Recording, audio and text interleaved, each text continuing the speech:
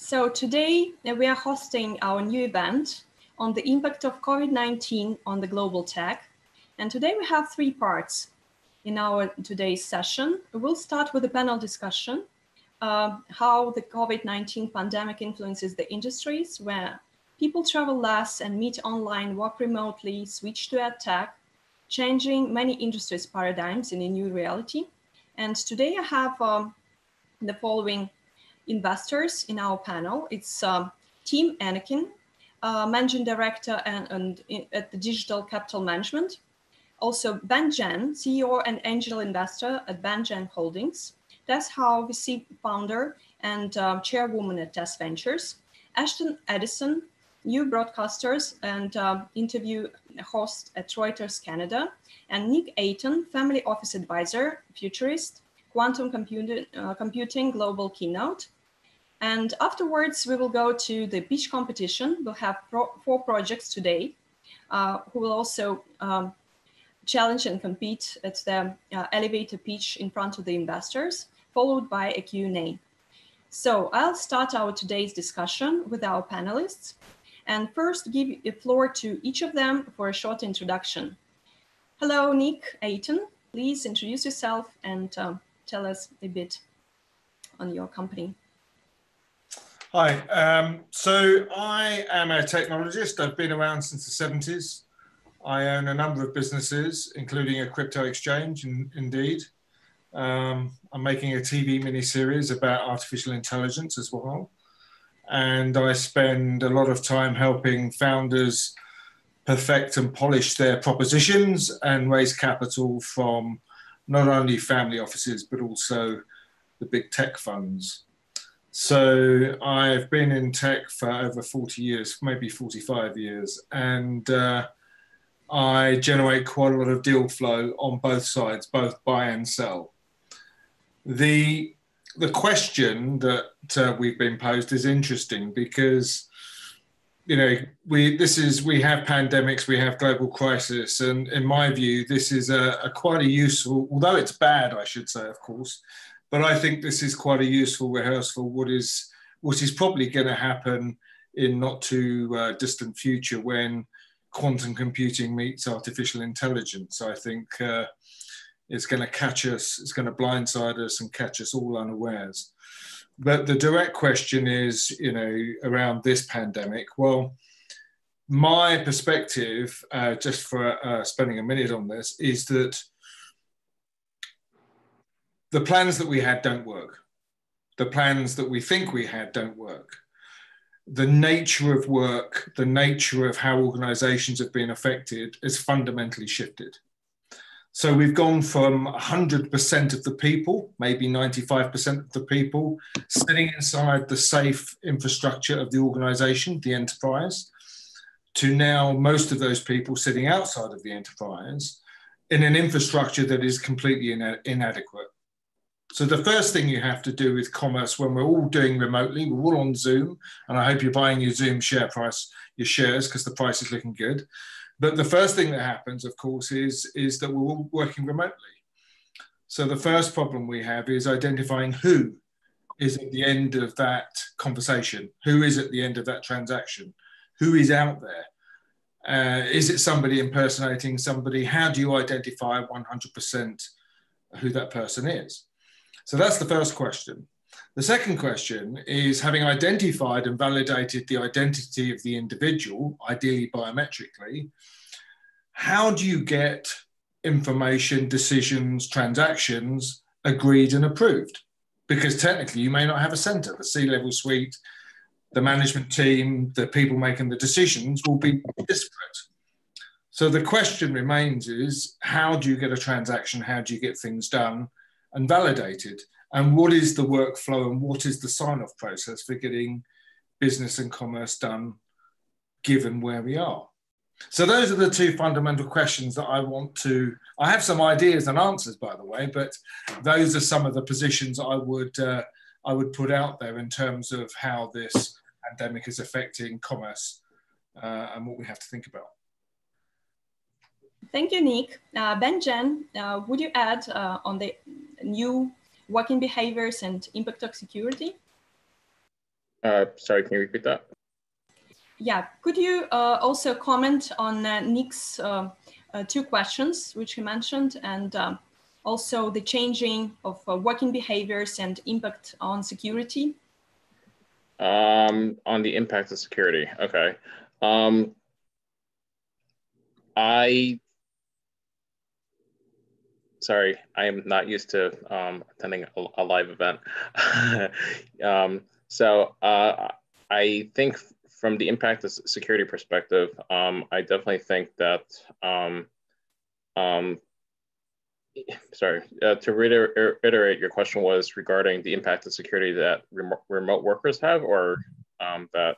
Uh, yes, so mm, lots of industries are changing paradigms and uh, most people, they also go to um, um, remote education ed tech, right? sure. and uh, changing patterns uh, in all the different other segments. And Nick also mentioned a couple of questions uh, which he finds vital um, for today in the impact of the current uh, pandemic period. Um, would you also briefly introduce yourself for oh, our, our, larger sure. audiences and uh, just uh, highlight the key issues you find important in the current situation? Of course.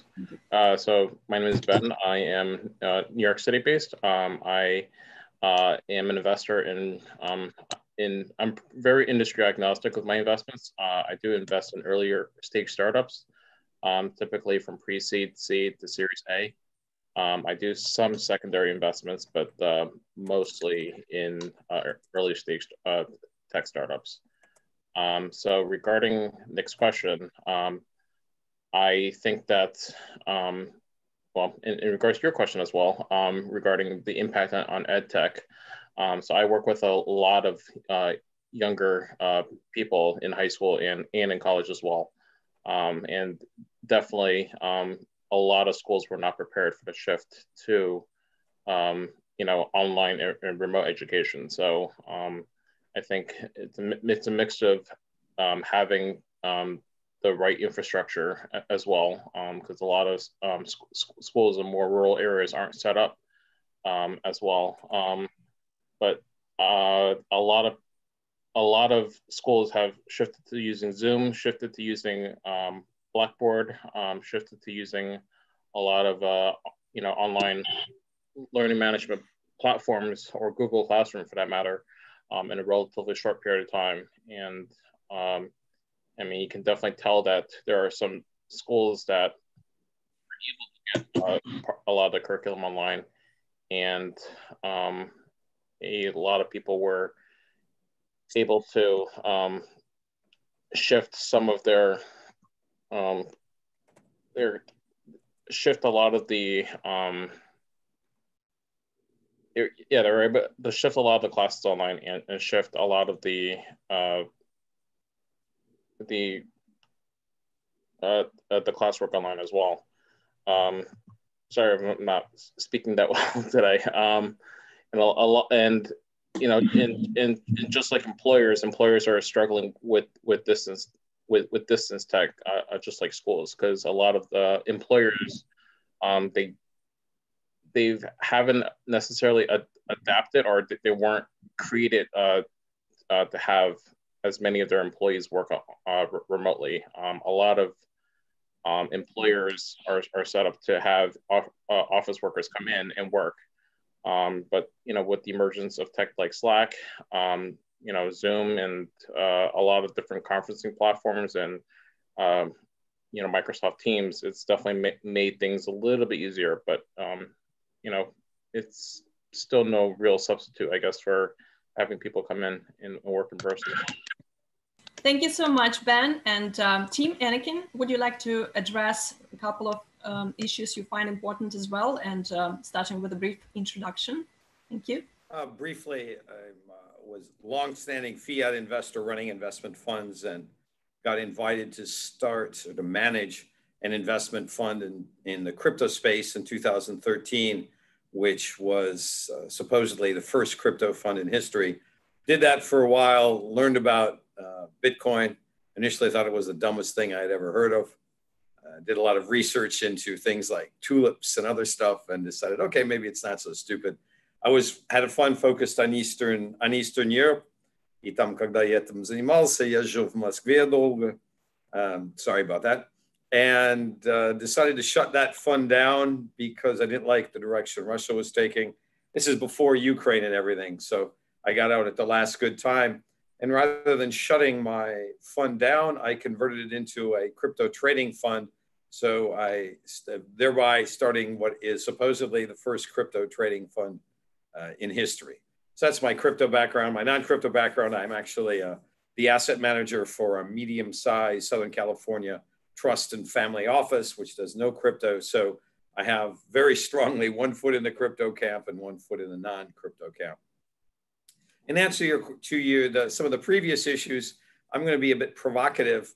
Uh, I don't think that fundamentally much is going to change at all. The the human human beings have an amazingly short memory. Uh, generally, that's a survival trait, so it's a good thing. But there's there's no fundamental shift that's going to happen here. The world will uh, will rubber band back in basically to where it was before. Uh, there's no reason to, in, in the vast majority of in, industries to change anything because this was a highly unusual event. Uh, hopefully, we'll have better medical responses put into place should something like this occur again.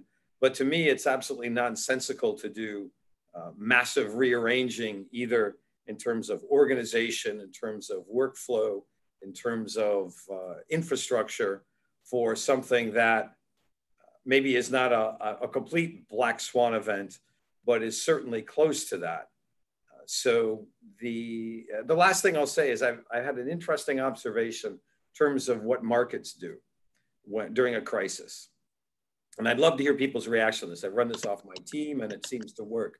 And that is when a crisis happens, let me back up. When there is no crisis, markets look out six to 12 months. Fiat markets do that. Crypto markets have a shorter time horizon, but they're looking out whatever period there is that is in a normal, under normal circumstances. In a crisis, and I haven't seen this written anyplace, so I'm, uh, but I'm not sure it's an idea unique to me. There are very, very few unique ideas out there. But when a crisis happens, the vision gets shorter. So what you saw three weeks ago, for instance, in fiat markets, is that the markets were looking about a week or 10 days out. I mean, their vision went from whatever it is, right, 12 months down to a very, very short period of time, probably weeks, maybe even days for a little while while the panic, the panic set in. And I'm talking more equities markets than bond markets, although the same thing happened to a lesser degree on bond markets. And then as soon as there's any light on the at the end of the tunnel, vision starts to go out again. So this weekend was a fascinating illustration of that. First of all, you had these big recut, you have big drops on Monday because people were three Mondays in a row because people were absorbing weekend news. And this is true in the fiat market and the crypto market too, because suddenly crypto and fiat markets correlate almost to 100%. Uh, never happened before. Everyone's getting short. They're reacting to Monday. Monday, it plunges.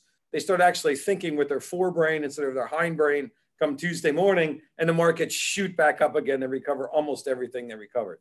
Crypto markets included, although the recoveries were less, were less correlated.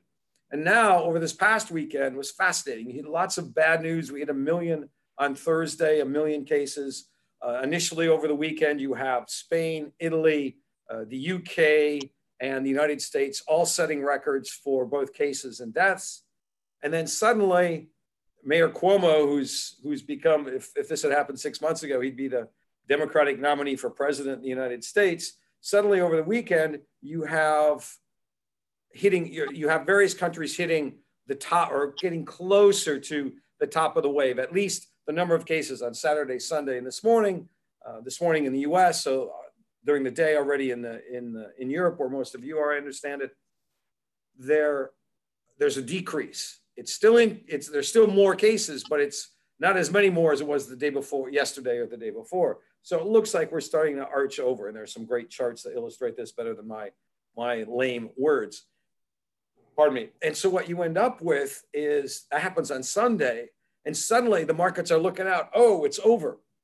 So the vision of the markets has gone out from a couple of days. And if we're focused on a short period of time, you're looking at Boris Johnson being hospitalized in, in the UK. He's the first and only head of state that's actually been hospitalized because of coronavirus. They'd be focusing on that. But because they now see light at the end of the tunnel, the focus is moving back out again. And to summarize, go back to what I initially said, I don't view this as a what they call a secular change, a fundamental shift. This is a, an issue, a crisis that the world is working through. And if we prepare for the last crisis, we're not going to be ready for the next one anyway. There's no reason to fundamentally change how the world works here. And the last comment I would say is given where we're all located, we'd be on Zoom anyway. Coronavirus has nothing to do with a lot of the remote communication. In my team, my office, virtually nothing has changed. And for most people uh, at certain levels, that's what it's going to be. And when the world winds up again, we're going to see a Q3 and a Q4 that are going to blow away uh, what's uh, what anyone expected to happen in those quarters. So a little bit controversial, perhaps, said a little bit more categorically than uh, that I might normally say for the sake of discussion, but uh, I, I firmly believe the general theses that I just outlined. Okay, great Tim. Thank you for the fundamental note and your observations. And uh, Ashton, would you share your views? How do you see the situation? Do you see anything controversial as Tim did, or what are your views on the current state of things? Thank you so much, Nadia. Let me start with a brief introduction of myself involved in the blockchain industry uh, specifically in events, which have had a major shift so far. Uh, in 2017, I started Event Chain, which is a blockchain secured event ticketing platform, uh, looking to solve the counterfeiting issues and, and manage ticket scalping on the secondary market using smart contracts. Uh, prior to that, I had started uh, the Crypto Coin Show, which is a media platform uh, which gives a, a platform for startups and crypto companies to showcase their technology. Uh, and my YouTube channel, Crypto Coin Show, has about 500 different interviews on it right now, uh, ranging from all different industries. Um, and just to highlight into the event industry so far, and specifically in Europe, where you know, travel between countries is so easy and there's so many conferences going on. You know, Tim mentioned that he believes you know everything will go back to normal um, but I, I it, you know, when this crisis is over, but I, I foresee that definitely um, there will be a, a question in the back of you know event organizers' minds specifically is you know how many events should we move some of our events into virtual events and, and keep them there? And I think because it, it, it, was a growing trend, but now with everyone forced to move into virtual events, I can foresee some companies uh, you know, still they really a lot of people really want those in-person events, and they're very hard to replicate.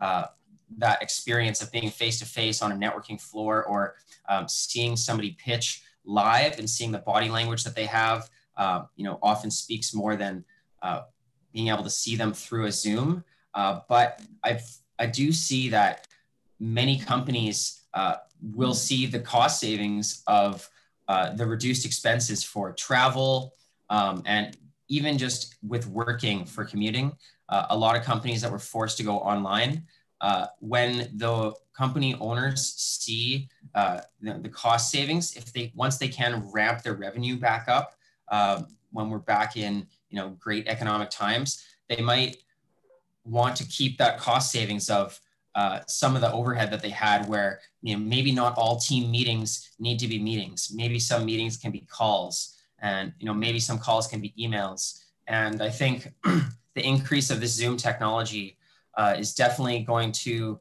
uh, affect some companies in, in, in, the long term. You know some might decide that uh, their weekly meetings have now turned into zoom calls and that saves time and money um, on that side i think uh, for event organizers that are uh, doing virtual events um, they they definitely need to make sure that people are still uh, interacting and uh, engaged in the events. You know, can be hard to replicate uh, when people also have you know five screens in front of them and and they have easily have the ability to minimize the, the Zoom window and turn down the volume. You know, the commitment to going to events um, with the, all the distractions here may uh, may make it a little harder. but I think that uh, at least Zoom so far, you know, as Nick said, Zoom's Zoom is doing incredible. They're at $45 billion valuation practically right now.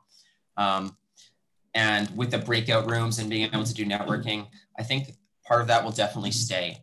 Uh, and at the same time, I think it's great to look at uh, com- competitors to Zoom uh, for virtual working because there are other companies uh, that have, you know, a 10 times smaller valuation, which could uh, easily grow to that of Zoom as well. Um, and I think throughout Europe, a lot of people will be using this software. Um, and at the same time, I know he touched at the very beginning on security and I think on privacy as well. Is good to note that with the increased use of technology uh, to, for communication, and we're not in communicating in person, you know, everything is being recorded uh, on the internet through your phone, through your messages, and it doesn't come without privacy concerns as well. You know, I know Zoom's had a little bit of uh, scrutiny for uh, their technology, and now that every school, every meeting, every event is on Zoom, uh, it's good to know that you know it's you should consider that everything you say is isn't private anymore because there's always technology that's recording and you know this event's going to be up on the internet for for all time to see. And as long as people are conscious of that um, and they're okay with that then that's good. I think it's just great to have people on the same level uh, of understanding. Um, so. Hey ashton don't you think most of those trends were happening anyway? I definitely think that they were happening anyway. Um, and this is sort of like just the trigger that forced everybody to move into that uh, area, uh, but it definitely accelerated it, right? And it, it could be for the for the better um, if people can maintain their efficiency and engagement, but uh, increase um, the savings and, and and have more time. I I, I think that um, it, it, again, it's hard to replicate. You know, for example, a school environment online uh, because kids' attention span all of a sudden goes out the window when they have when they're at home. Um, but but it's it could be for the better, uh, and it definitely saving all of us, I know, the time and money to to fly, uh, you know, across continents to go to events. But at the same time, people want that, and I'm hoping that there are still great events, but there may be more great events, but also more virtual events where people can get information that they couldn't get before. Uh, thank you, Ashton. And Tess, would you comment also on the shifts on the human behavior during these pandemic days? What do you find as an observation? Maybe you could share that as well with a brief introduction on yourself, Tess. Hi. Yes, absolutely. Thank you.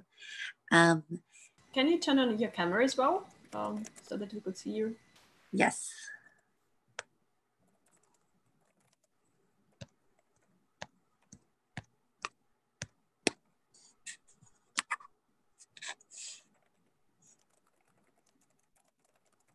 I, sorry about that.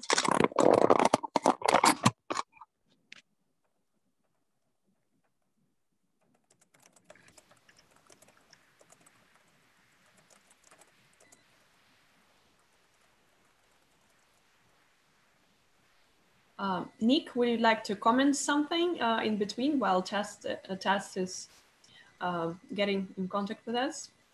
Yeah, I guess so. I mean, I, it's very interesting, isn't it, that um, you know we've spoken a lot about Zoom, this platform, um, which is fundamentally, you know, not secure, and uh, it's possible to, you know, assume somebody else's identity. Do we really know you're there? You know, it's that kind of thing, and um, and it's not secure communications, and the internet wasn't designed to be secure anyway. And and and my uh, my observations are really that um, you know I think I think uh, Tim's right. I think you know it probably is a momentum that's already been taking place where people are moving to remote platforms. But the, the, the that doesn't mean to say it's the right direction. It doesn't mean to say it works correctly because it doesn't. And um, if you look further out, as I said before, um, this virus is is not going to change much at all it will disrupt industries and it will you know the weak ones will fail. Survival of the fittest and all of that which is not necessarily a good thing from a human point of view. Um, but i think generally speaking you know the, the biggest the biggest concern that i have is is is what lies ahead, and it's the malware viruses, it's the next generation of sandworm, it's the NotPetya virus. You know, it's it will ha- what happens next when it's quantum enabled, and this will that will make this look like a tea party. Just a few thoughts. Perfect. Thank you so much, Nick and Tess. Uh, would you comment uh, on the maybe some observation on the human behavior? What could this pandemic um, bring us to in terms of circumstances and maybe the impact on that. Thank you. With a Absolutely. brief intro, yeah, on yourself. Thank you. Really appreciate it. Thank you for um, everyone's time. So I'm Tess, uh, Tess Venture. Um, this is a venture that I founded and started. Um, the key uh, background that um, I think is relevant um, when investors help and identify uh, great startups and great technology is um, an operating background as a founder. So I was very fortunate that I was able to identify a startup that I wanted to do uh, very early in uh, undergrad and was able to gain the experience throughout that process of going through university and then ultimately um, was being able to have um, a good exit. Uh, that led me to my path to Silicon Valley, where I spent some time at Stanford, two years there, and focusing on cultivating relationships that allow me to be mentored by some of the top VCs and also a lot of the great ecosystem there. So, with that said, I wanted to have the combination to pay it forward for other startups and was able to really invest actively and be proactive in helping accelerate the startups and the founders journey uh, throughout the growth process. Um, very early stage is what I focus on and be able to help them throughout um, their growth cycle in terms of securing true uh, clients and also down the road next round of funding through great intros to global investor sets, institutional funding, family office, to angels. And then sometimes with acquisitions, I would love to be able to facilitate that and have done that. So, having said that, I identified in this um, unfortunate situation of this global pandemic where I had the uh, early insight because of um, a lot of my Chinese friends back in December and January. So that gave me a head start into looking at what potentially the startups and founders that was in my ecosystem of what I said maybe they should already start identifying and transitioning, which obviously was a lot of remote distributed um, work. And combined with that is my background in blockchain and cryptocurrency the last four years. So having said that relationship and people was fundamental to what my belief was and I always have shared that people is the first component and the majority of what makes a company. That's why relationship was something between friends, between peers, between startup co founders was already identified and valued in my circle. So that led us to a lot of the um, being able to access the health and the mental health of uh, team members. So I've already shared that uh, a lot of my fortunate Stanford friends had already started health startups um, that focus on mental health. And in this anxiety period, that definitely was highly utilized by various people accessing various um, mental health startups. And that also led to obviously you know legal tech startups of a rise in that. And also obviously in this case what makes a person happy is their personal life um, which is relationship management of their also their own personal life. So a founder's relationship in my due diligence process was always a component that it was ideal if they had a um, supportive other half whether that is um, a relationship they're in or a marriage. And that's something that I ask um, founders to always think about and how to make sure they have a good balance. That's why uh, various startups right now have been popping up that have been focusing more on legal tech startups and also on um, mental health and of course on relationship which that process is making the relationship better or really identifying where there's problems there, they should really fix it, which means stay together or speak candidly, authentically about it and transition gracefully. So I definitely do see the rise of divorce startups happening because there are some um, startups that actually can help manage that process remotely, educate it, and in a more less disruptive way of the traditional model where a lot of the um, divorce lawyers who don't manage it well you know actually take advantage of that very sensitive period. And i think to be a successful founder all of that component is important. Um, and on my venture capital friends uh, side we have seen definitely a lot more um, i would say you know uh, deal flow and startups and entrepreneurs that either have pivoted or they have launched the startups that they always have wanted to. So in the last one month, globally, I have seen um, various startups um, that have already asked for advice or asked for, you know, funding that related to this aspect. And largely, a lot of my um, Stanford friends actually have started startups in mental health, and some focusing on relationship management. Um, they've partnered up with Stanford professors and have been already um, having a good um, database of um, definitely startup individuals that understand technology can be used to achieve that gap. And hopefully having the access of you know our cell phone in our back pocket actually does make it more um, easier for them to access help when they do feel that anxiety or that frustration in the relationship or in the you know in the actual um, you know environment and market which actually is a lot easier than the traditional model of accessing a you know couple relationship management uh, individual or a marriage counselor that you have to book and plan ahead. So I really believe that technology enables relationships and also the um, for sure the marriage component to be better. And that is truly just having couples that are now isolated in this period where they're forced to really identify these situations. Or if they don't and they continue to keep that pressure on, it eventually will blow up. So that's why, unfortunately, with coronavirus and this forced isolation, uh, which is needed for society to be safer and to hopefully, you know, um, make the world, you know, a, a, lot safer. They are forced to actually identify and look at these uh, situations carefully. And I definitely would recommend that uh, with this extended period of FaceTime, families, couples, relationships should really utilize these um, remote um, access online services so that they can really go through and evaluate how they can for sure uh, increase uh, the um, best practice of the relationship in terms of you know um, really having a balance and look and maybe have these professionals guide them through that process using some of these startups i personally do believe there's huge benefit in it and unfortunately the rise of divorce may happen because sometimes in this isolation, this pressure where they emotionally probably are not ready for a divorce, but they actually do want it and they just do it yourself, go online, or they say things that they don't mean. So unfortunately, you know, that will happen. However, the divorce market actually the addressable market is about you know 50 billion dollar market or 60 billion even and it is clear that you know society may have to have to redefine marriage first so that um, individuals can actually not fall into the structure of what the traditional concept of marriage and divorce is.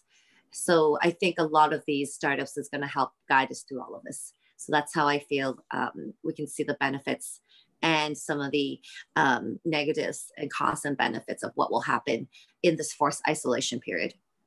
Okay, thank you very much, Tess. So, Tim, what would be your conclusion out of the whole spread of today's views and uh, some of them may be considered contradictory or fundamental and Tess also address some human nature response to the current pandemic uh, closing up in home offices for all so what would be your final conclusion well i'm not a divorce i'm not a divorce lawyer or uh, and and i'm not a marriage counselor so i'll i'll stay away from i'll stay away from that personally, I love spending more time with my family. It's been awesome. Uh, the my overall conclusion is is essentially what I what I said before, uh, and probably is reflected best in the question I asked Ashton, because the the some of the trends. The only thing, let me back up a second. Sorry. The only real impact, lasting impact, and one could argue whether it's much of an impact at all, that the coronavirus is going to have, or rather the reaction to the coronavirus is going to have, is to accelerate certain trends that were taking place already. take a look at employment, right? The retail is getting decimated. Well, retail's been getting decimated for the last last six years, right? Who's hiring? Uh, Amazon is hiring 100,000. I'm sorry to be US centric here, but the numbers are more dramatic in the US, partly because it's a large, the largest economy in the world, and partly because it's integrated. The EU is bigger, but it's not nearly as well integrated. So Amazon hires 100,000, CVS hires 50,000.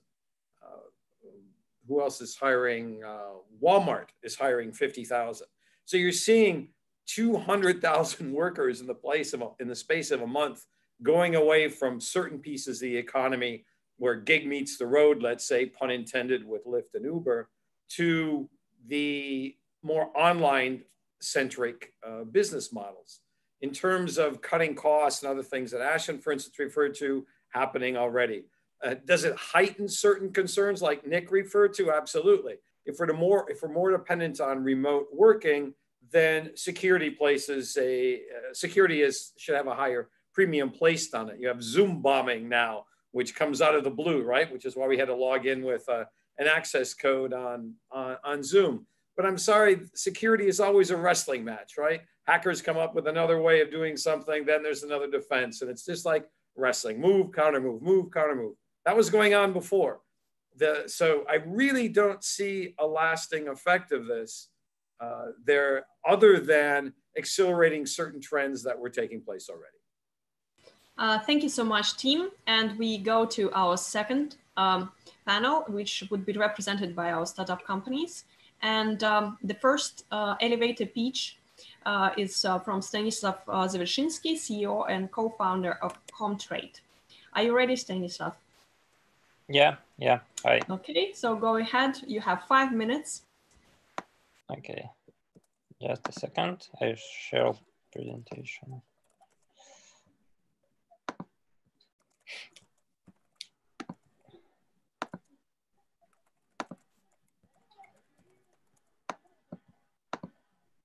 Just a second.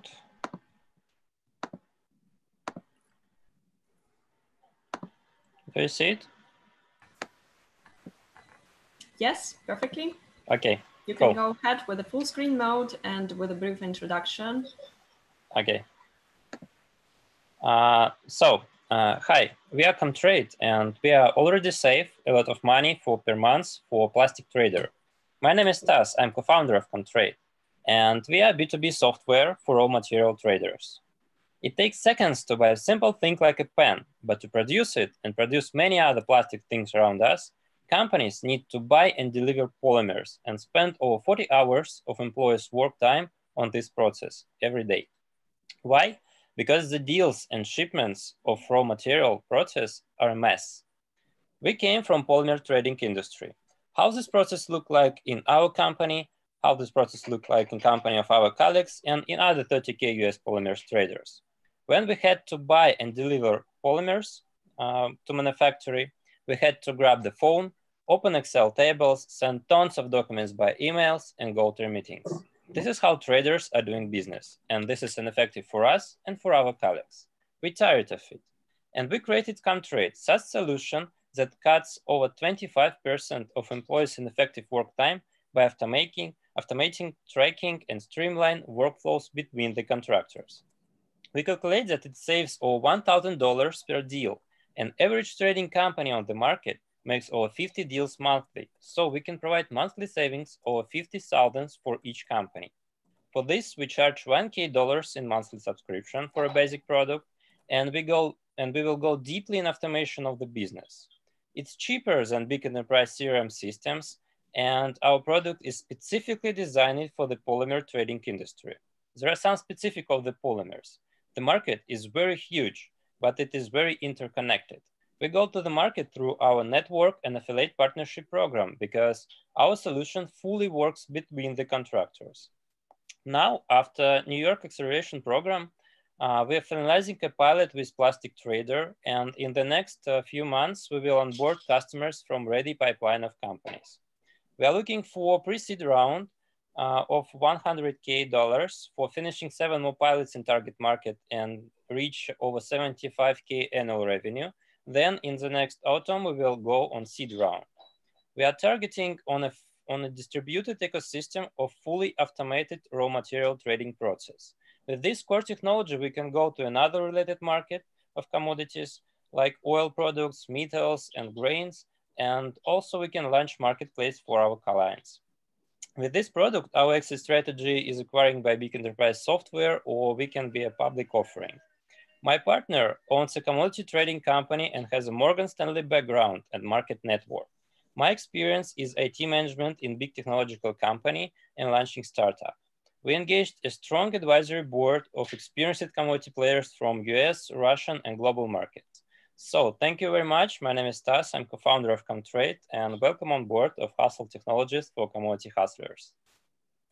Uh, thank you, Stanislav. And um, dear all, uh, the judges and investors, keep your Q&A uh, ready after okay. we hear all the projects.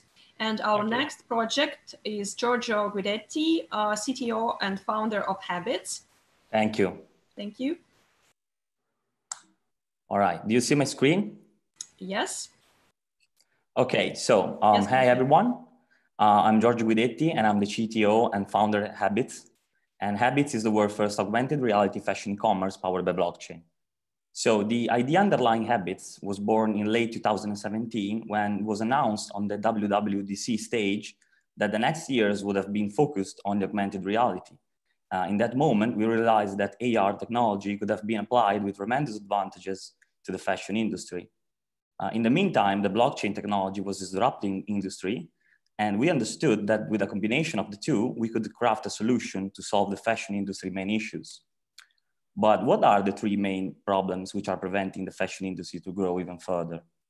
To us, they are sluggish conversion rates, rising customer acquisition costs, and too many expensive returns. So what is Habits? Uh, Habits, how does it solve these problems? Thanks to our application for uh, trying fashion accessories, our smart mirror for trying apparel, and our admin panel for managing your presence on the Habits fashion store. So let's go through them one by one. The Habits app will allow users to try on in real time every kind of fashion accessory, such as sunglasses, hats, earrings, watches, sneakers. Because it allows users to explore and try on accessories whenever they are, the Habits app virtually replaces the physical store, reducing brand needs to invest in retail. So thanks to AR technology, we plan to reduce returns and simultaneously boost conversion rates. Um, thanks to our admin panel, fashion brands can register remotely, upload the 3D models of their creation and start selling. If they do not have 3D models, we offer a dedicated service for 3D model creation. Uh, as you can see on the slide, using a 3D model not only enables users to try them through AR, but enormously streamlines the product listing process. Um, brands sell the product through Habits and ship the orders directly. So this way Habits do not need to have a warehouse and just keeps a fee on the order. But what about blockchain? At Habits, we figured out that advertising a fashion product through traditional platform was highly inefficient. As in each step, we were losing more than 90% of our potential customer. Furthermore, the overproduction has made the fashion industry the, the second largest polluting industry, and fashion counterfeiting has become an industry on its own. So at Habits, we have created our HBX token that allows fashion brands to launch ad campaigns and obtain guaranteed augmented reality try-ons.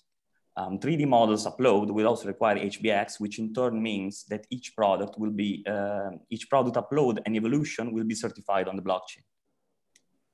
So mm, the simple formula equals to one HBX token, one guaranteed try on.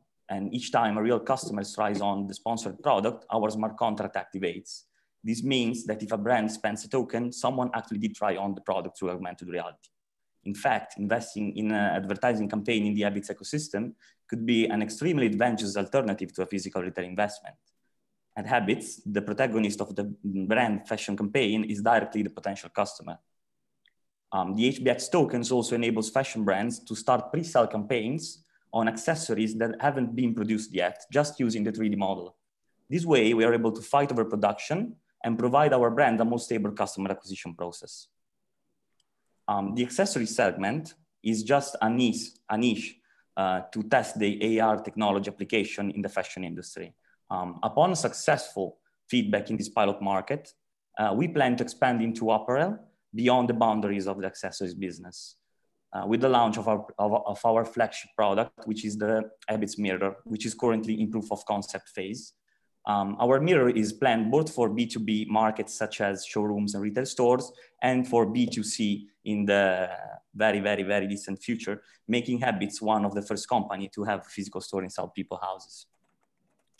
So currently we are rolling out our iOS beta uh, of the Habits app where you can try uh, sunglasses, hats and earrings, uh, which are real products obtained um, by our commercial efforts. More product type will be added in the next months. And we are also planning to pre-sell our HBX token through an IO event. And we are actively looking for funds to complete the, the development of and launch of our app within Q4 2020.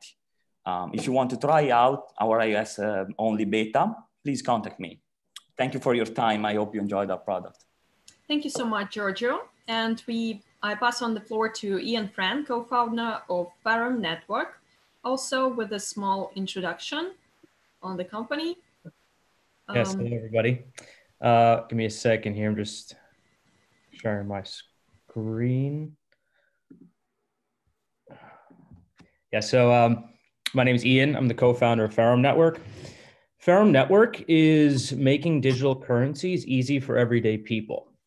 So, yeah, I know a lot of you are in the technology space. Some of you are even in the crypto space. I don't know the last time you tried to send money overseas the traditional way through banks, but it's a real pain. Um, we we recently had to send money to our lawyer overseas a couple, uh, a few months ago.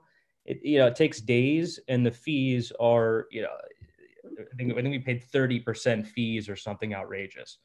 So you know, we we do most of our work in you know Tether, Bitcoin, Ethereum. Obviously, it's a better way to send money around. So my co-founder and I thought, so why why is this not catching on? Why are people not actually using digital currencies other than to speculate on the price? Uh, for the most part, I don't want to say only, but for the most part, that's that's all we've been doing for the past 10, 10 or so years.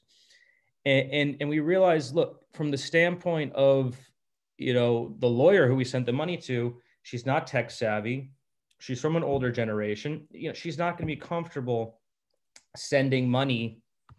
Um, she's not going to be comfortable sending money uh, to a string of letters and numbers um, to a you know to a wallet address she she's not going to be comfortable being the custodian of her own money. Um, you know, the backs her her her own backs up writing down a seed phrase and storing it in the drawer. I mean, the, like if if we if we can't solve these fundamental problems, we're just going to be speculating on price chart. No one's going to use this stuff other than the really technical or people who are you know um, willing willing to take a lot of risks. So, so we wanted to go back to the drawing board and, and build a product that was extremely user friendly, that uh, really allows you to send money as easily as easier than a Venmo, that that takes the risks away from the end user uh, with uh, different layers of security, and, and so you don't have to be concerned about your seed phrase, losing your seed phrase or getting hacked. And at the same time not having to turn over all your privacy and give all the control to a, you know a company like coinbase that that then reports all your transactions to the irs so we we built a wallet um, that that solved these problems. And i'll get into the um, the product features in a moment. But you know the the wallet address like the crypto market um, as a whole is uh, growing um, and it's projected to grow um, manyfold uh, over the next few years. And I think maybe the coronavirus uh, pandemic and the financial fallout from that may may accelerate that trend. I, I think it will. Um, you know, the vast majority, I say vast majority, but a, a, large segment of users still just use Coinbase. Um, but there really is no wallet that is a fiat to crypto gateway that also provides the user complete control in a, in a user friendly way that, that removes some of the risks for them. So there's really no, no mobile non-custodial wallet for new users. And so this is what we've built. We've built, we're sort of calling it the global cash app. It has a number of proprietary technologies behind it. Um, the, the one I'm most excited about is something we're calling link drops.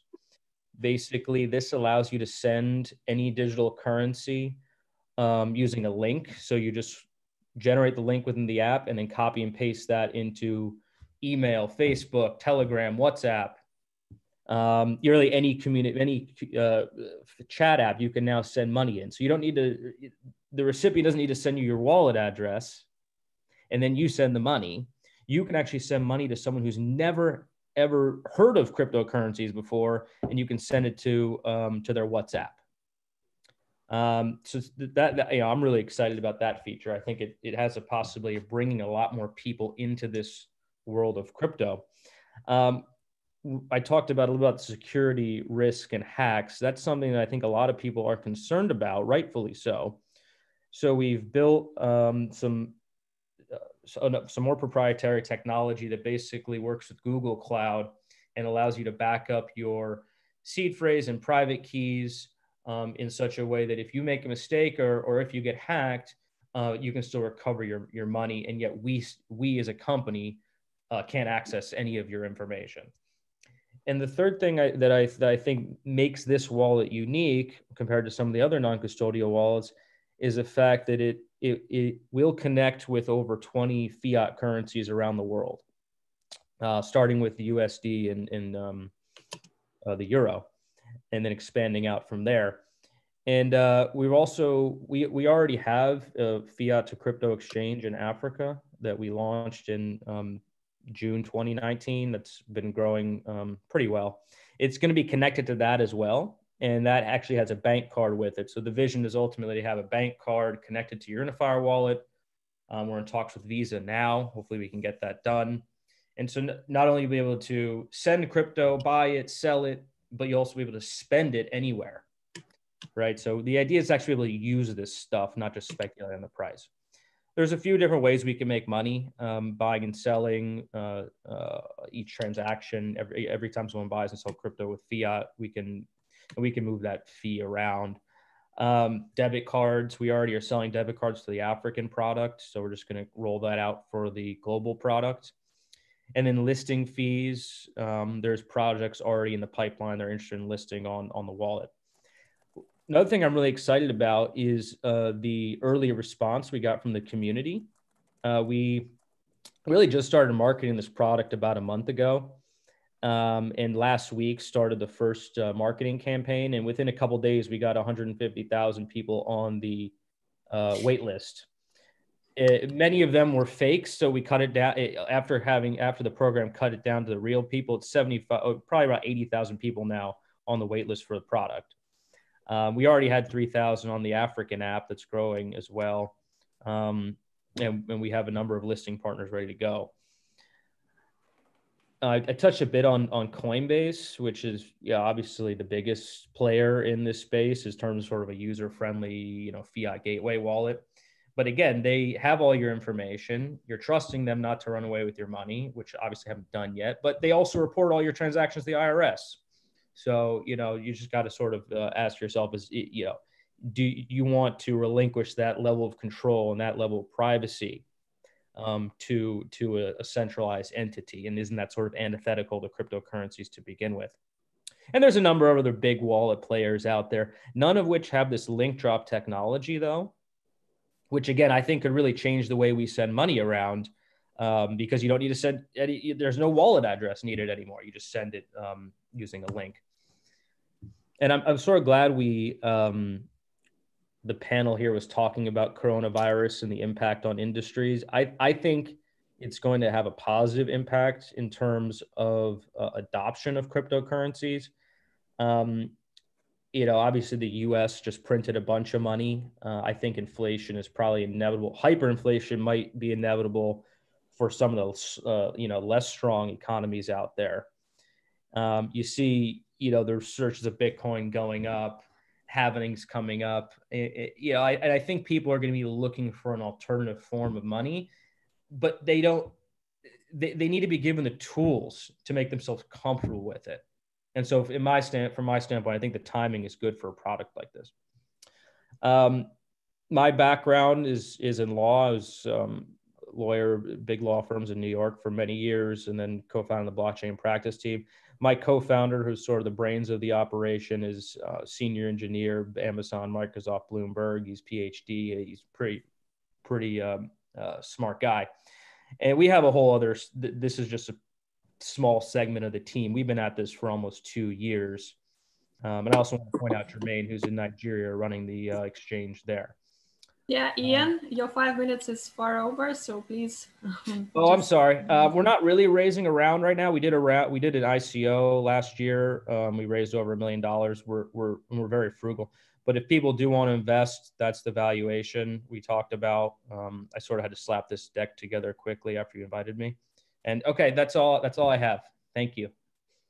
Uh, thank you so much, Ian. And we have one more project, uh, which is represented by uh, Alexander Costa. He is the CTO of uh, UZyth ecosystem. Alexander, please join. Thank you, Nadia. Uh, pleased to meet you all. Uh, so I'm going to explain a little bit about, about UZyth. UZyth's uh, main goal is to build an online community um, using several products inside one single platform. So our platform, uh, I'm going to share here, uh, is already developed as we did uh, with, with success a private sale. So uh, our main product blockchain games, market, and social. Uh, we are targeting here uh, uh, to build an on online com uh, community and using a referral program uh, so everyone gets benefits the, uh, whenever something does an action on the platform. So if you make an ad on UZ Social, uh, you, you get always, the members are always connected and receive always a percentage of, of the ads everyone that has uh, Zitcoins. So I'm going to show you a little bit of the, of the platform. Here is our developed platform. Uh, as you can see, uh, we have all, all the products in one single uh, platform. We have the uh, network, uh, the exchange, the games, the market, and the social, as well as chat functionality. So we're just trying to integrate things uh, to, for all the users, connect whatever the place they are. Some are playing games, some are on the, on the exchange, some are sharing something on uh, social. Uh, and uh, we have developed this UI from scratch uh, and we can switch from social to, for example, the exchange and uh, and keep chatting with our uh, keep messaging with with everyone on our chat. We are integrating as well our avatar system in our main dashboard. Uh, so we are trying to introduce as well a gamification uh, on the platform. So it, it keeps the platform a little bit uh, interactive.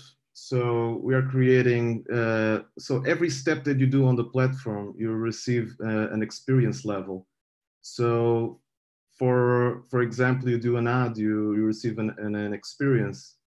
And um, if you make, uh, if you do something on the exchange as well, uh, if you post things on UZ get uh, coins as well to upgrade your avatar. So uh, we are doing all of, all of this while uh, sharing uh, revenue for everyone. So this, uh, for example, on the UZ exchange, if you have uh, over 1,000 ZITs, uh, that it's ERC 20 token, you get a 50% discount on the on, on the crypto industry uh, in regards of using this uh, our, our own coin to get benefits as well on using social and games so for the blockchain games you you always receive um, uh, commissions on, on, the on house uh, winnings. So this is a we we wanted to to do an online community, and our main uh, uh, difficulty uh, was because online communities are really hard to get and get a, a really a strong number there to to keep everyone inside the platform. So that's why we created several products in one single uh, uh, platform. Uh, this way we can grow, and that's why the the our main strategy strategy being the referral program and having benefits by referring friends will be the option uh, the, the the best option for us. So people can come in and in a sustainable referral program this is just uh, a basic referral uh, you you you get people to try and uh, uh, test the platform basically uh, we also are creating some new apps. We created uh, as uh, a Pokemon Go, but instead of Pokemon Go, it's ZitGo.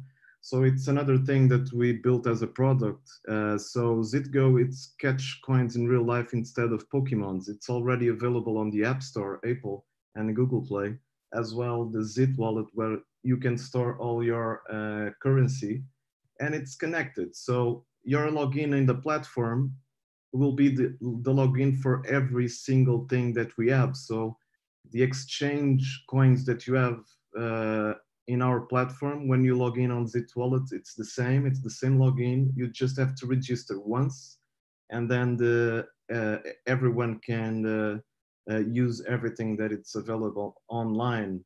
So this is uh, mainly what we're trying to achieve.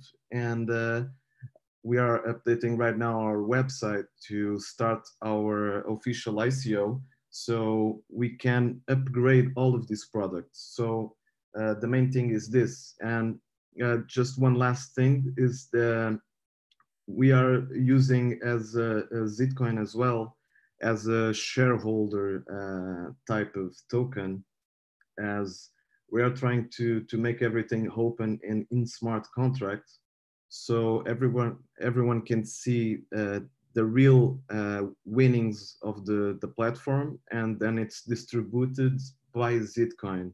So if you have more zitcoins the more you receive and that's it. That's how we are trying to market and that's uh, zitcoin basically. Uh, a coin to help us build an online community with a one single ecosystem. Thank you Uh, thank you so much. So now uh, we are going to our Q&A session and I will introduce you two of our judges who will also join our investor panel. And um, um, one of them is Ibrahim Arkurt, uh, a founding partner of uh, Capital uh, Management. And um, could you briefly also introduce you, uh, yourself, Ibrahim, and uh, say a couple of words on the performance of our today's teams? Sure. Hi, guys. Uh, thank you for pitching. and thanks for everyone that's watching. So my name is Ibrahim Alkurd. I'm the CEO of Newmine and also one of the founding uh, partners of Leverrier Capital Management. We are a cryptocurrency hedge fund based out of um, Palm Beach in Florida. We mainly do um, digital asset investments, cryptocurrency investments.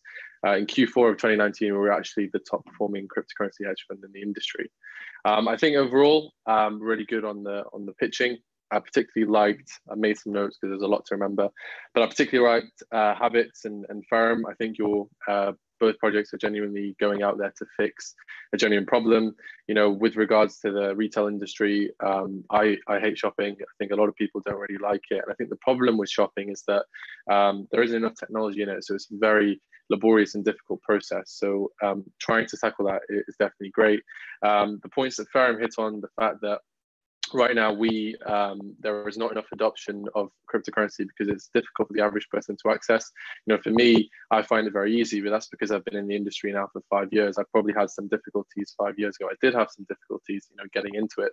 Uh, so i think both projects have a genuine need But what I'd say to all of the um, projects that I've pitched today is you need to provide a genuine uh, value proposition if you're going to be offering a utility token. Don't just offer a utility token that's not going to be useful because you're going to do bad by your investors and you're going to not be able to raise future rounds. I think that part of the reason that a lot of the uh, cryptocurrency projects, the ICO ones, have failed is because they didn't provide a genuine, useful utility for their tokens.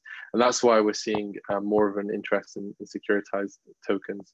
Um, so that's kind of my overall view. Um, I think that you know some of the things we talked about that um, the the world is moving through uh, is going through a digital direction right? The internet is 30 years old but it's caused such a massive impact on our society and it's going to continue to do so. And um, you know what we'll find is that within the next decade remote work is going to become more and more popular. In the last 10 years in the us um, remote workers have gone up by 90% we're going to see a similar trend in the next 10 years. It's going to increase even more. So i think that this pandemic is definitely highlighting that um, you know people have to start learning to work a bit more remotely because um, there are a lot of advantages to having a decentralized teams. One of the one of them being that uh, you can hire some of the best people from all over the world without needing to be restricted by people that are within your city. Uh, so yeah, those are those are kind of my initial thoughts, and I pass back to you, Nadia. Uh, thank you so much, Ibrahim. And uh, I pass the floor also to Maher Chebbo, Senior Executive uh, Chief Commercial uh, of Innovation Center Digital Energy GE Power. Uh, also to introduce yourself in a couple of words and represent your views on the um, pitches about today's participants. Thank you.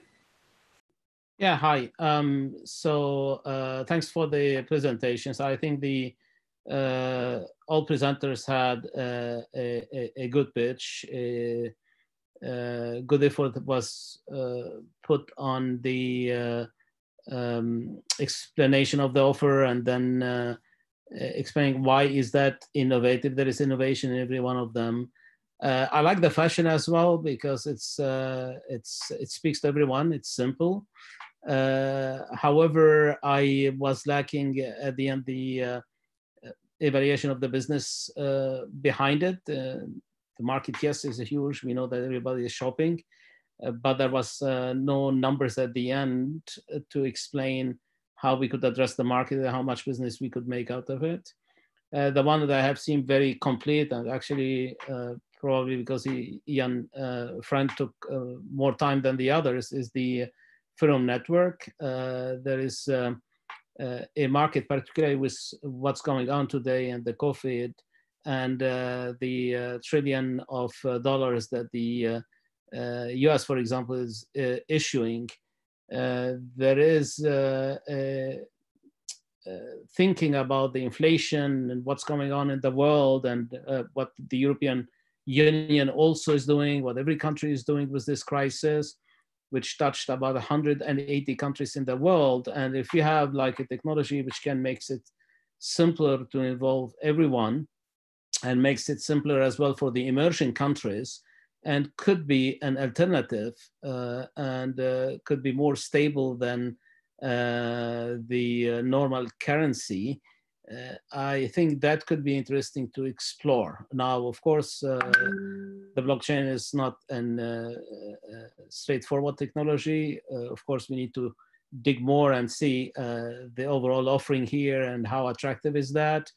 but the numbers that were presented showed that there was 75,000 on the waiting list. Uh, so uh, I think it's worth looking with what's going on in the world today, worth looking at this and exploring a bit more. Uh, I understood that the business uh, doesn't require even fundraising, but in case uh, they could uh, get the support that was mentioned at the end, which is not millions they are talking about. Thank you. Uh, thank you so much. Yes. Um, um, who would like to also, while uh, all the judges are filling in uh, their evaluation forms, um, maybe team, would you like to say a couple of words about uh, the beach session? Do you have any questions or maybe uh, brief input uh, on the performance of our today's panelists? I do actually. Okay, Ben take a floor? Uh, sure. Um, so I did have, well, so I I do see a lot of startups. Um, I do. Um, see, Sorry, I'm unmuted. Go ahead. My apologies. I I, I said I do see a lot of startups, and um, I have seen variations of everyone's uh, startups in, in, some form today, and um, uh, like especially the, the, most recent one on the uh, I guess the Pokemon Go for collecting coins.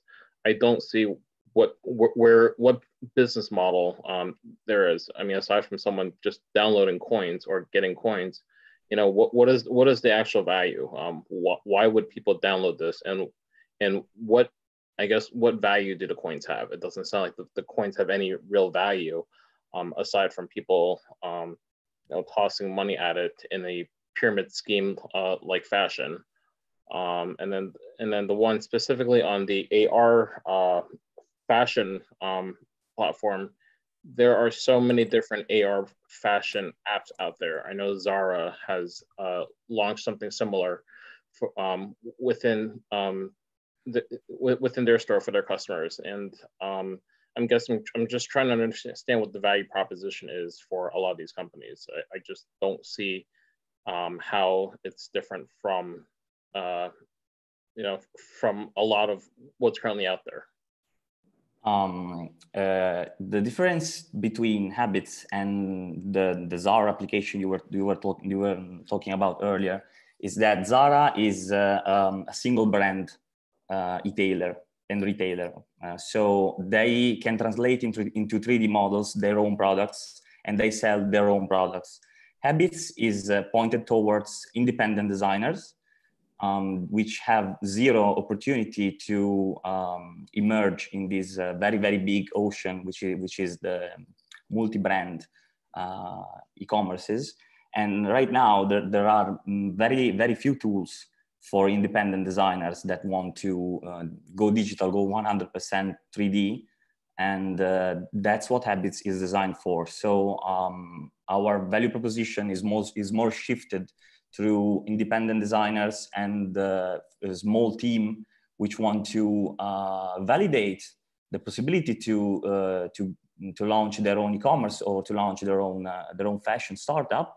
And we help them build their online presence. We help them uh, uh, create the, their 3D models and we help them uh, obtain their visibility in our own platform. So that, that is the difference between, for example, what is Gucci doing or what is Zara doing. They are single brands, so they already have the base, they already have their application, and they're selling only their products. So Habits is more for selling other people products, which are small teams and independent designers. Okay, thank you so much, uh, Giorgio. And Abraham, uh, he also had a question to Ian. Yeah. Um, so, yeah, my question is um, obviously there's been a lot of money pumped into the market, uh, you know, billions of dollars. There's a lot of very wealthy companies, well, you know, Coinbase, etc., Binance, etc. Why do you think that they have not been very successful in increasing the ease of uh, adoption of cryptocurrency by the average retail buyer? Yeah, that's a good question. I mean, they obviously do have massive war chests, and Coinbase is doing its part in terms of education and you know you can take courses that reward you in tokens if you learn about the uh, ecosystem and, and, things of that nature and their apps are user friendly i mean there's but but i still think they're they're missing a few key components. Um, one those you know those two entities you talked about are are just that they're entities. You are trusting them. That that's not the real ethos. That's not the goal I think, uh, of of uh, this ecosystem. Um, ultimately, we want people to be the custodians of their own money, um, but the non-custodial wallets that uh, have been built thus far, I think, are far too technically challenging, um, and they put far too much risk on the end user. So, I mean, look, Coinbase, uh, Binance, uh, they're going to be there, um, and they're going to be pushing the industry forward. And obviously, what CZ and, and um, Brian Armstrong do, I, I salute those guys but they have a bit of a different uh, business model. They've, I think, they're taking the industry in a direction that I'm not sure we want it to go. Um, you know, do we want in five years from now the only two companies to be Coinbase and Binance, um, or do we want some options out there? We want to give users control of their money. So, um, you know, it's going to be interesting to see where where things go the next few years.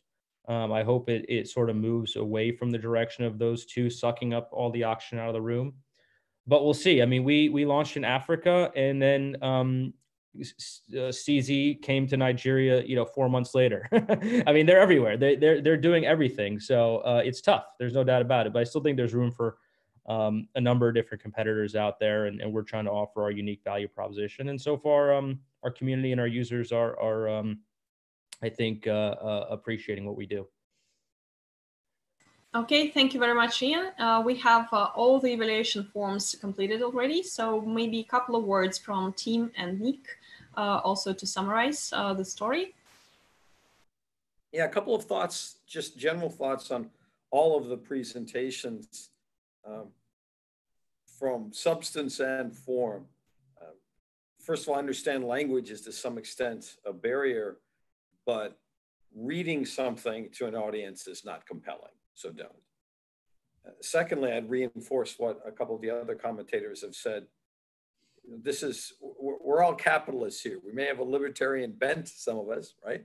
But we're all capitalists here. So you have to really explain why someone should put money in your project. Ultimately, it's to make more. It always is. Uh, to make more in the short term, to make more in the long term. So if you're marketing a utility token, what is driving price formation? I wrote an article about two years ago now on the seven drivers of price formation in ICOs. ICOs are obviously dead, but the, the concepts, the principles remain, mainly because I took those most of those seven points from investing in, in fiat, doing seed, VC, and PE investing in the fiat space, which I've done a lot of. So you, you should focus less in your presentation on what you're doing and and I don't mean to say you should explain it. I just mean people get involved and this is what we're doing. This is our team. This is what we're producing. This is the problem. That's nice, right? And it's also fairly obvious.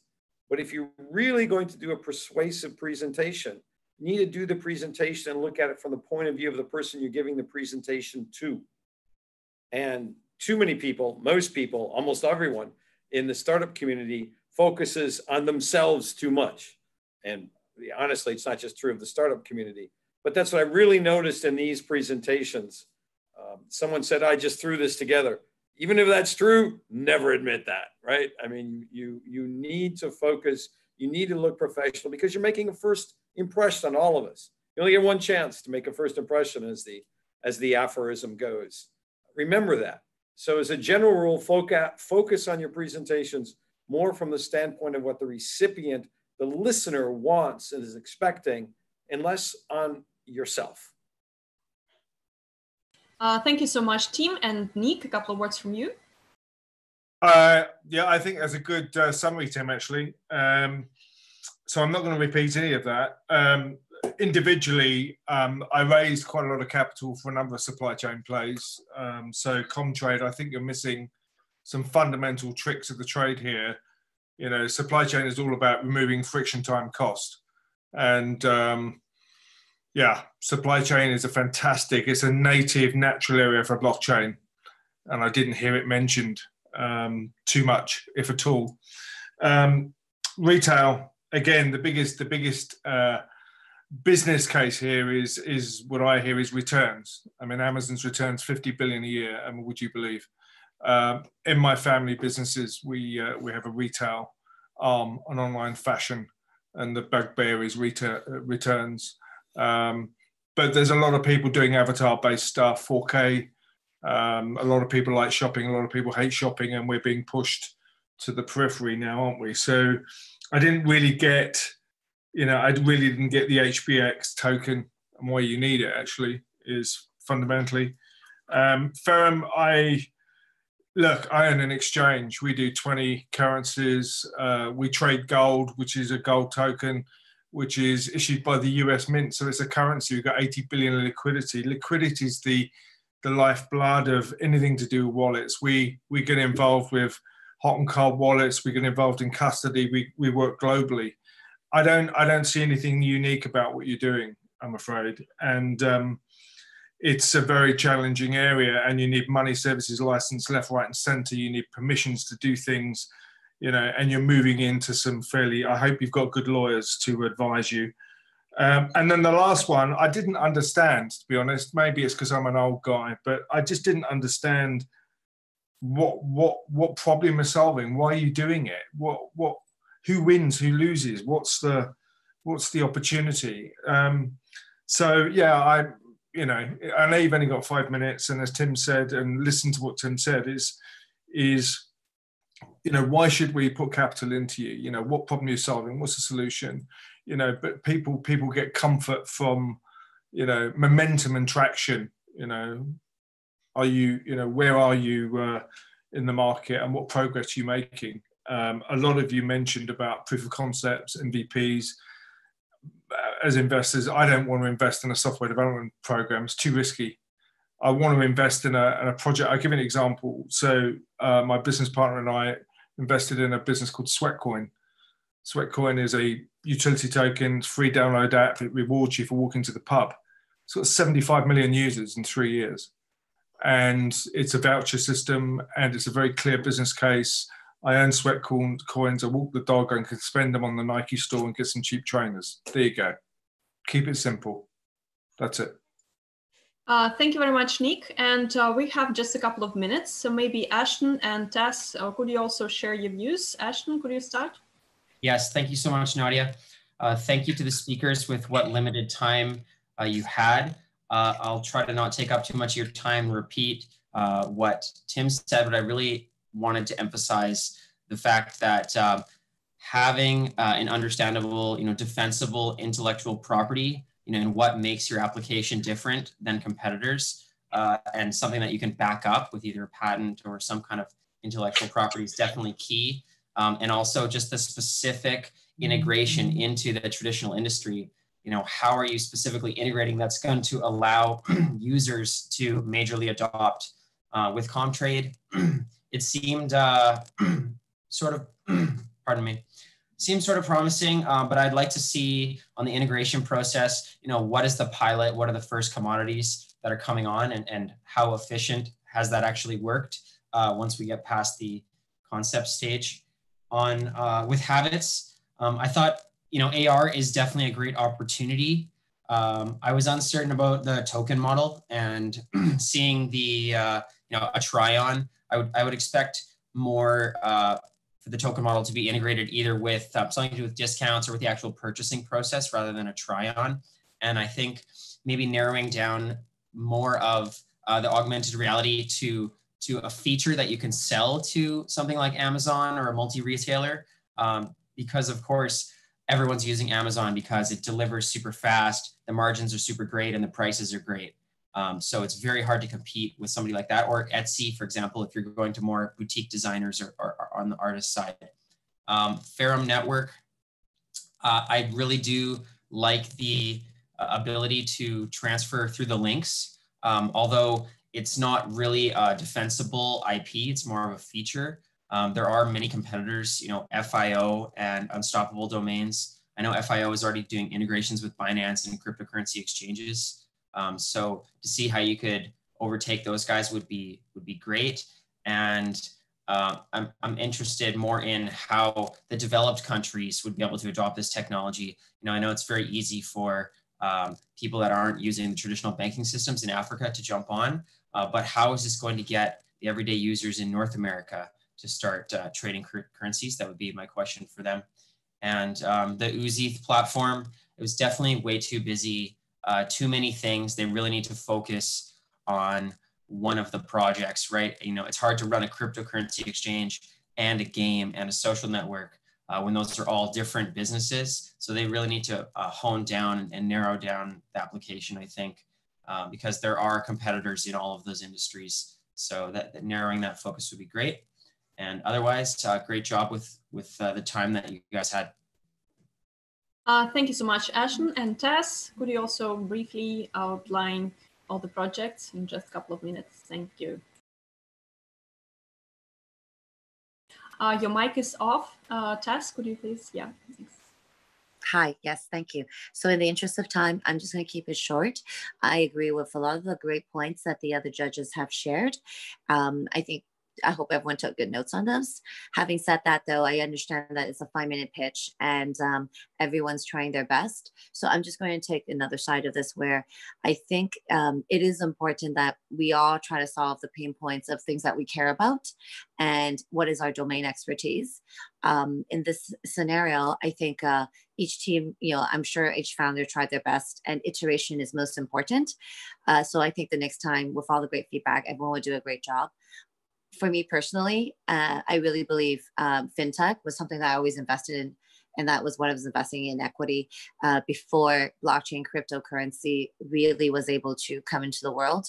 So, four years ago, blockchain and crypto was my key focus as soon as it became more evident and i knew a lot of the leaders within the ecosystem that was able to validate this and uh, defi products is absolutely you know a very big focus that um, the world needs to look at. And that's the best, you know, right now, one of the best startup and area for entrepreneurs to disrupt, which blockchain essentially is technology at the intersection of technology, meaning Wall Street.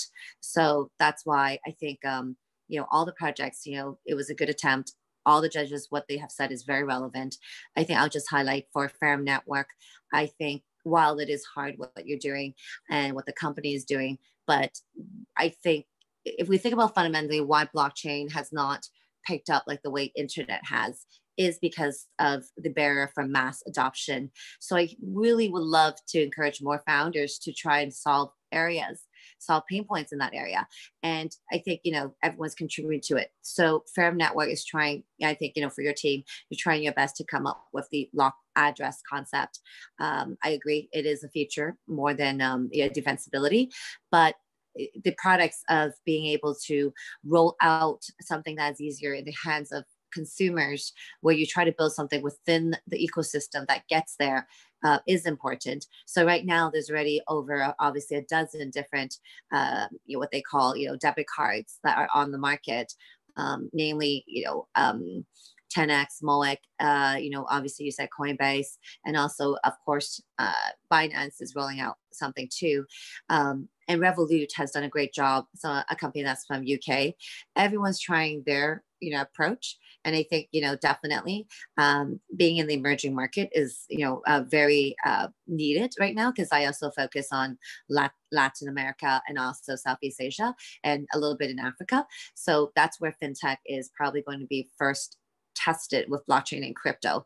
So I encourage definitely to continue to iterate, continue to look to see how you can help with mass adoption and making it user friendly for people to be able to actually purchase crypto, which is the fiat gateway, uh, fiat to crypto gateway, which is continuously as an investor, I'm looking for teams that can really come up with um, real tangible solutions for this. So definitely, I think, um, you know, Ferrum Network and all the other teams keep doing what you're doing.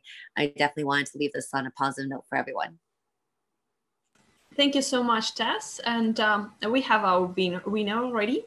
So um, the first place goes to Giorgio Guidetti, Chief Technology Officer, founder of Habits. So big applause to you. Thank you. Thank you very much. Um, yeah. And the second place is uh, Ian Friend, co-founder of uh, Ferrum Network. Thank you. Big applause to you as well.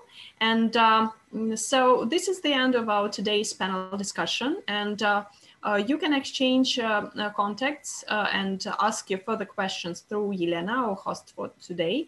And um, if investors still have questions to you and are interested in your projects, they will contact you directly through Yelena. and thank you very much to all. If uh, uh, anybody would like to uh, say a couple of farewell words, maybe some of your associations to today's topics, discussions in one or two words uh, what uh, comes up to your mind as a metaphor for today. Nick? I think this is a good uh, a good format, and I know that um, you're going to be running several of these. Um, and I do also know that pitching in five minutes is um, is very very hard when you put on the spot. But it's um, you know you need to do more of these. Just practice, practice, practice. Um, it is enjoyable. You do get used to it. Um, you've got some good people on this uh, on this call. Uh, also, the follow up's important. So, um, yeah, I think it's a good session. Thank you, team. learning to unmute more rapidly here. No, it's a, it's a, I think it's a good general discussion. The I, again, I would like to see perhaps a, a bit more. Uh, no, I definitely like to see more direct points and a good summary of, uh, particularly in terms of the investment cases, why invest. Uh, perfect. Just one word association from uh, Ashton. I think um, Nick and Tim said it well. Just keep going and uh, keep, you know, the more that, that you do, uh, the more pitches you do, the more you can refine it. You know, if, and uh, if you can just do it for friends and family or do it, do it for uh, your colleagues and uh, mock, mock pitches, I think you can nail down five minutes is perfect. You know, investors are short on time and uh, a five minute pitch, the perfect five minute pitch can be perfected. It just takes grinding it out. Really, it's the only way to do it. Thank you, Thank everybody. You. Yeah. Ben? Um, yeah, the only thing that I really have to add is um, I, I, I think a lot of the pitches still need a lot of work. Um, I think uh, a lot of the pitches, um, you know, I think practice makes perfect. Um, practicing with you know, uh, attending other pitch events, um, a lot of them have gone virtual uh, because of, of, of, the coronavirus. So there's no shortage of events that you can you can attend and, and, and pitch to. Um, you'll definitely get a lot of different feedback from uh, a, a, diverse group of people. So uh, I highly encourage all of you to keep working on your pitches. Uh, thank you, Ben. Uh, Maher?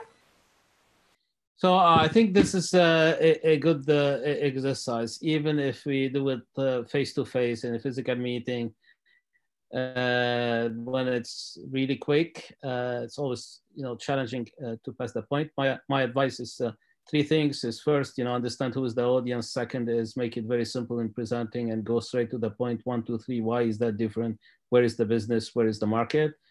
And three is uh, always keep improving. The follow up and improving and getting in new ideas every time you present it is really key. Uh, thank you very much. And Tess just a word from you. Thank you. I would like to conclude with saying that uh, while this uh, you know this chaos is the new normal um, and with all chaos comes opportunities so everyone should keep doing what they're doing. And I think bringing on um, great advisors or utilizing your advisors and practice with them, help them get it down to something that you feel really uh, proud of and actually feel um, if you were an investor, you would actually invest in, uh, even if it's a five minute pitch, even if it's a 30 second pitch. I absolutely always say to my founders is have your 30 second pitch ready because it is an elevator pitch. Sometimes you just have one shot to get a meeting. So practice that and uh, you know ask other people for feedback iterate it in private and then definitely do the public uh, pitches yeah. good luck everyone Thank you so much. Thank you, everybody, for being with us tonight. And um, we'll keep on with this format. Get ready, all the participants. And thank you very much, our judges and investors, for being with us and uh, training our projects, being more um, in sharp communication with you and being straight to the point.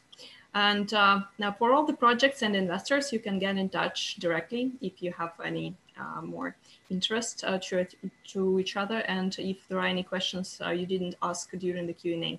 Thank you very much and uh, good luck, everybody. Stay healthy. Bye-bye. Thanks, Nadia. Well done. Thank you. Thanks, Nadia. Bye-bye. Thank you very much. Thank you. Bye. Thank you. Bye.